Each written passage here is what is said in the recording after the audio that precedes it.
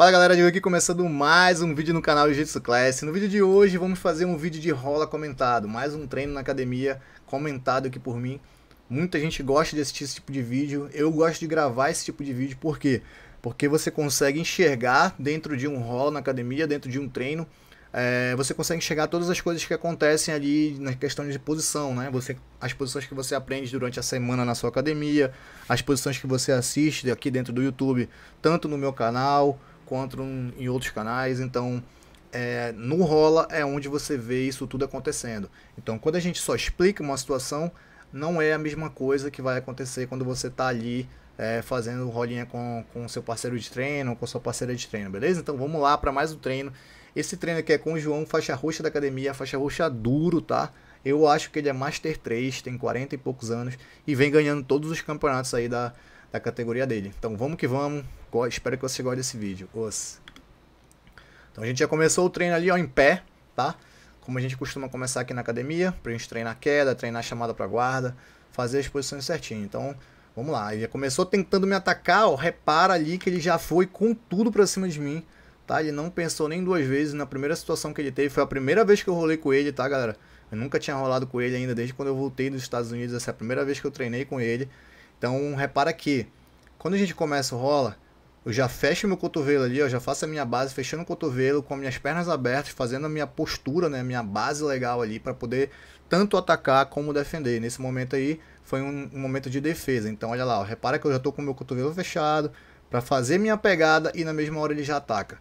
Então ele atacou, conseguiu segurar no single leg ali, ó, mas eu consegui defender, fiz o sprawlzinho.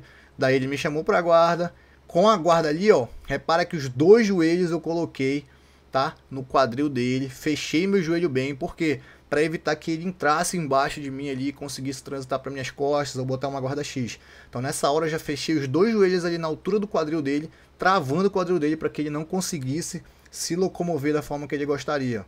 E aí no primeiro, na primeira situação que eu tive, eu ataquei no pé, como vocês podem ver aí no vídeo, tá? Eu atacando no pé dele. Esse tipo de ataque aí na nossa academia é, a gente libera para todos os faixas roxas e para todos os faixas marrons, até azuis, para rolar com a gente que eles podem atacar, justamente para a gente conseguir se defender e também quando tiver uma situação de ataque a gente poder atacar, beleza? Então vamos lá, continuando, voltamos em pé novamente. E aí, ó, repara, na hora que eu vou fazer minha pegada, eu já dou logo um tranco. Eu fiz a minha pegada por cima, essa é uma pegada que eu faço desde a faixa branca, tá? A pegada por cima ali, atrás, do, atrás do, da nuca do meu adversário. Fiz a minha pegada atrás. Já dou uma puxadinha. Repara que eu dou duas puxadinhas. Ó. Vou puxar ele. Uma. Ó. Uma. Duas. Dou duas puxadinhas. Pra quê? Pra testar a base dele. Toda vez que eu começo a treinar com alguém ou lutar com alguém em competição, a gente testa essa base. Não sou eu, como meu irmão. E os nossos alunos também a gente ensina que eles façam a mesma coisa. Certo? Então vamos lá. Dei duas puxadinhas. E na hora que eu dei as duas puxadinhas, ele apoiou a base esquerda no chão que era a base de apoio dele. Ó. Quando ele apoiou no chão ela ali, foi a hora que eu dei a bandinha e aí eu consegui fazer a queda. Beleza? Então aí eu só vou para passagem, tentar com o Nicut ali, ó. Ele defendeu muito bem. E aí eu vou fazer agora a minha passagem de meia, do jeito que eu gosto de fazer. Tem algumas maneiras que eu gosto de fazer, essa aí que eu vou fazer é uma delas, tá? Então vamos lá. Na situação o que acontece aí, ó. Eu tento colar o máximo que eu puder. Repara que ele tenta entrar debaixo de mim. Olha lá. Ele vai tentar entrar embaixo de mim, só que eu não deixo a cabeça dele entrar. Se ele consegue entrar com a cabeça, muito provavelmente ele ia achar uma situação de raspagem ou uma situação de guarda-x ou uma situação de ir para as costas, mas eu não deixo. Esse braço meu esquerdo faz a contenção, jogando ele de volta para onde ele tinha que ir, tá? Então fiz essa contenção e agora eu começo a minha passagem. Repara que nesse, nesse, nesse, nesse vídeo aqui, nesse Nesse take você consegue ver que o meu braço direito já está lá dentro, a minha mão já está lá dentro da perna dele. Então eu passei o meu braço por cima da perna dele e fui colocando, fazendo com que eu bloqueasse a perna de baixo dele para ele não repor a guarda na hora que eu começar a fazer a passagem. Então você vai entender isso mais na frente. Então olha lá, ele está tentando ganhar minha calça, mas eu estou com uma posição boa. E agora eu só faço o que? Pressão com o ombrão. O ombrão já está amassando ali no rosto para tirar ele da jogada, para ele sentir a pressão e consequentemente abrir a guarda. Repara lá, ó, quando começa a dar pressão, ó, ele já começa a sentir, a cara já muda, a situação dele já muda. E a minha mão direita, tá? por cima da calça dele lá, ó, fazendo domínio da perna de baixo. Olha, agora você vai conseguir ver, ó. Tá? A mão direita tá dominando a perna de baixo e ele não consegue repor a guarda. Isso é uma situação muito boa de passagem de guarda quando você está nesse tipo de situação, beleza? Então aí eu consigo fazer a passagem de guarda, estabilizo a posição nos 100 kg e pronto, e aí já começa os meus ataques de 100 kg, beleza? Então essa é só uma situação para você entender como que, como que eu consegui fazer a passagem de guarda e chegar na lateral. Ele vai brigando, brigando, brigando, ele dá as costas, eu esperei ele girar, aí ele poderia ter feito mais um giro, tá? Essa é uma situação ó, de defesa, né? Quando você está se defendendo. Essa hora aí que ele começa a girar, se ele tivesse dado mais um giro, ele poderia ter chamado de volta na guarda. Ó, dava pra ele, aí, ó, dava pra ele girar de novo e aí, ó, dava para ele girar e chamar na meia guarda, tá? Mas aí na hora que ele não fez, na velocidade que era para ele ter feito, é uma posição que você tem que fazer quando você está fugindo e tem que ser muito rápido. Por quê? Porque nesse momento aí eu já tinha dominado o braço dele de fora, tá? Minha mão direita ali, ó, já dominou o braço dele. Ó, tá vendo aqui? Então não dava mais para ele fazer o que, ele, que era para ele ter feito no começo. Então eu dominei o braço. Essa pegada aí é bem difícil de soltar, tá? Então eu dominei justamente para não deixar ele girar, que era o que ele queria fazer, girar e voltar para guarda ou para meia guarda. Não deixei ele girar, continuei dominando o braço dele ali, enquanto eu tentava achar o melhor espaço para colocar o gancho e também para que a minha mão esquerda conseguisse chegar na gola dele para finalizar. Então eu já estou com o braço preso, eu não vou largar o braço de maneira alguma, que é isso que evita que ele gire, ó, tá vendo? Que ele tenta girar, tenta sair, ele não desiste, e aí é a hora que a mão entra e o braço continua preso, tá vendo? Então olha lá como a posição se, se concretiza quando você faz ela direitinho, vai esperando o momento certo, vai atacando, atacando, até que numa hora você consegue finalizar. A gente voltou à posição em pé, e vamos começar novamente em pé a luta aí, o treininho no caso, né? E vamos lá, vamos ver agora o que vai acontecer. Sempre, ó, galera, eu faço a minha entrada da pegada para estourar essa de dentro dele. Tá vendo que a pegada dele começou dentro? Eu faço a minha por cima e estoura dele, ó. Agora sim a minha tá por dentro. Aqui eu tenho mais tração, ó, mais situação para poder pegar a melhor entrada, pegar o melhor tempo de queda, tá? Então sempre a minha pegada por dentro ali é a melhor das situações. Ele me chamou para guarda, vamos trocar uma uma passagem contra uma raspagem, uma possível raspagem. Repara na minha base aí que eu tô sempre na base bem sólida, tá? Eu não me exponho, não coloco minha cabeça para baixo, eu tô sempre ali, ó, tentando posturar e ficar alto. Eu não coloco minha cabeça para baixo. Repara que agora ele puxa minha cabeça para baixo e a minha mão esquerda continua fazendo aquela pegadinha lá na gola dele, né? Entra ali mais próximo da barriga. Isso não é legal, porque daí ele pode escapar, para uma posição aí de omoplata ou até mesmo pisar no meu quadril e sair para um triângulo, tá? Então, quando eu, quando eu vejo que a minha mão está muito longe, ó, essa não é uma situação legal. Então, eu já domino a calça e na mesma hora eu vou trocar aquela pegada de lá de cima e botar ela na altura do quadril. Aí agora sim eu estou dominando o quadril dele, fazendo com que ele não consiga se mexer, porque eu já estou pensando no meu próximo ataque de passagem, que vai ser esse aí, ó. Vou tentar fazer um leg drag na hora que Ó, tentei fazer o leg drag, ele defendeu muito bem, conseguiu retornar para guarda. E aí a gente vai voltar para meia guarda. Só que agora, galera, eu vou passar de uma forma diferente, que na verdade essa é a forma que eu mais uso, tá? 90% dos meus rolas, quando eu caio na meia guarda, é assim que eu passo. Tá? Então é uma posição que eu gosto, uma posição que está sempre no meu jogo. Então repara que a mão esquerda, ó, ela vai tentando o máximo possível chegar próximo da axila dele. Quanto mais próximo da axila, melhor. Tá vendo? A mão esquerda andando lá, vai andando, vai mexendo, mexendo até eu chegar o mais próximo. Porque aí agora eu vou jogar o peso. Repara no ombrão de novo no rosto. Ó, já tá amassando. Fechou o olho porque sentiu a posição. Então o ombrão amassando lá. E o que faz essa posição ser muito forte é essa mão. Quanto mais a mão entrar, mais próximo da axila, mais a pressão vai ser forte, tá vendo? Ele já tá sentindo bastante a pressão ou ele bate, se ele continuar da forma que está, ele vai sentir, vai ser uma situação de bater, ou ele vai acabar abrindo a guarda. Então vamos lá, eu vou fazer aqui a posição, pressão, pressão, pressão, joguei a pressão mais para cima, ele já abriu a perna ali, então é porque ele já vai abrir a guarda para tentar espernear e fugir. Mas aí a posição está bem justa, está bem presa, não dou chances para que ele consiga realmente fazer é, essa situação de fuga.